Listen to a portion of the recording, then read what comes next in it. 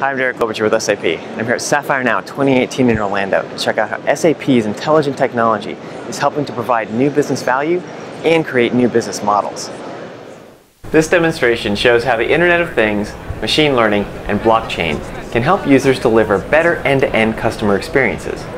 Many different types of organizations could benefit from SAP Leonardo, but this showcase loosely simulates a car rental company. In this case, I'm driving a remote-controlled ball full of sensors.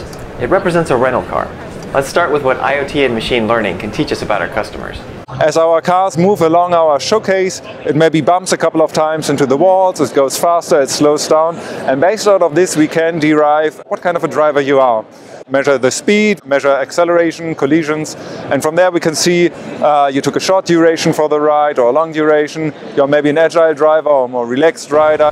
Real-time telemetric data from the car's IoT sensors enable our company to identify different customer categories for which we could use SAP C4HANA to instantly create new, targeted campaigns or determine the best vehicles to buy as we grow our rental fleet. We can also use this data to offer better pricing models to our customers while getting them to help us solve one of our industry's biggest problems. Nobody is gentle with its rental.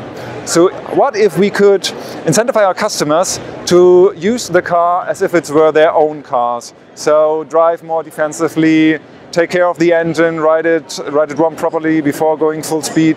My risk level increases every time that my car collides with the wall, but my risk level decreases along with my price as I drive more safely.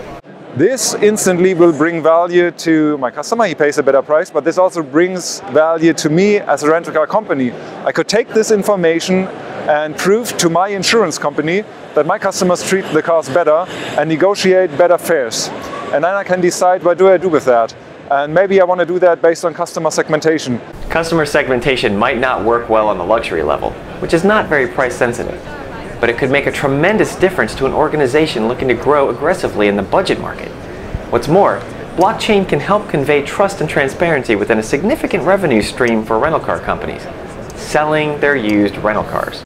Problem is, nobody wants to buy a rental because we know how we treat it, right?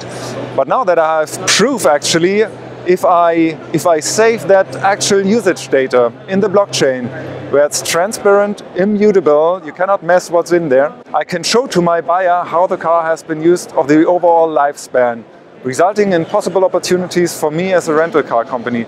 These new opportunities include selling the cars directly to consumers, which could be easier with blockchain's digital ledger, showing people exactly how the car has been treated. Cars that have been well cared for could fetch a higher price. There's also the potential for new business services. Imagine this, as a rental car company you take all this information, you had a couple of hundreds of drivers in that type of car and you offer the insights of how this car has been used to the car manufacturer for intelligent product design. Car manufacturers could also combine machine learning technology with blockchain data to improve maintenance schedules.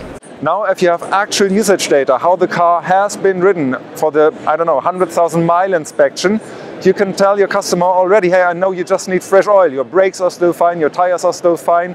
Overall, the car manufacturer or the services provider could fit more inspections into the same day at the end, resulting in shorter waiting times for the customers, better service, uh, better customer experience, happy customer.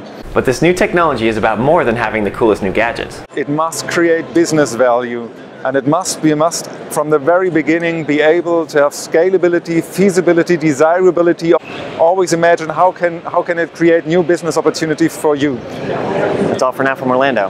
For SAP, I'm Derek Klobucher.